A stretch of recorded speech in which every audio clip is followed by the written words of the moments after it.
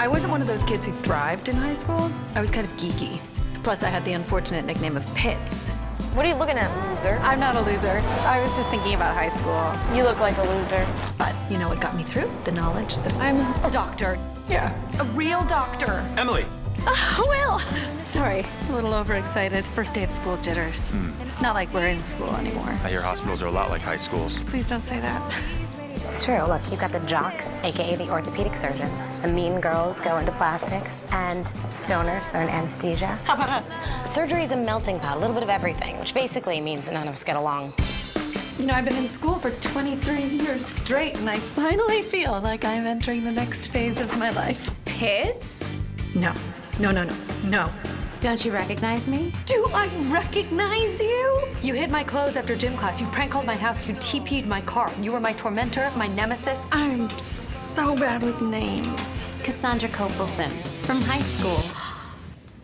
Cassandra Kopelson from high school. Hey, what's with Pitts? That was her nickname in high school. Where'd they come from? Welcome to Denver Memorial. Now I'd like to introduce you to your resident, Dr. Micah Barnes, and of course your attending, Dr. Gina Bandari. We're walking. Your job is to keep my patients alive. Each of you has a pager. That is your lifeline. When you're paged, you have 60 seconds to appear. And yes, I have a timer. Breathe. Was it that obvious? I'm a doctor. Medicine is all about the little details. You have to pay attention to everything. Like that tiny nick on his jaw. Man, he has a nice jaw. Dr. Owens, you're in charge of discharge paperwork.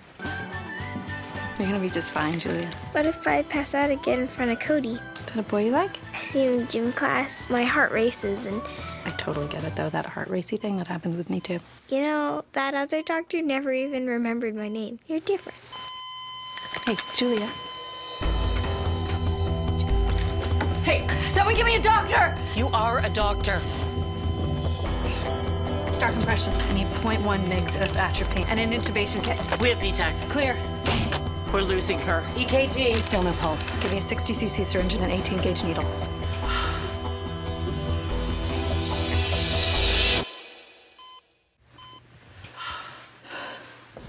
What the hell happened in here? She coded, we were talking, and she coded.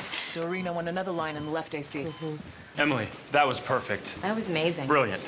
Just. Wow. Oh, now I remember why we called you Pitts.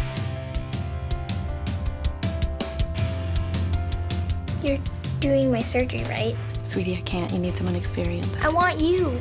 If you care about me, can you at least be in the room to make sure I'm okay? You told her she could request you in there? I didn't know what to say. You say you don't know what the hell you're doing. And you say that you don't know if you will ever be in a surgery because right now your attending physician is so pissed off, she doesn't even want to look at you. You're a rock star. Come on. Come there. She's gonna realize that soon enough. Do it. Tell him. I like you. And I know that if I didn't say anything, then we'd always just be friends. And what I really, really want is you. oh. I'm so sorry. I, I just don't see you like that. It's great. You all right? I'm just having the worst day. That man in there is gonna have to learn how to walk again without a leg. And the woman down in 501, she's gonna be told that she has stage four pancreatic cancer. You're not having the worst day. You must think I'm incredibly self-absorbed. Just human. Dr. Owens, I need hemostasis here. Get in your mouth. Place your finger here, apply steady pressure, and whatever you do, don't move. Can you handle that? yes, of course. Well done, Dr. Owens. Hey, heard you kicked ass in surgery. Not the worst day after all, huh? No, it wasn't.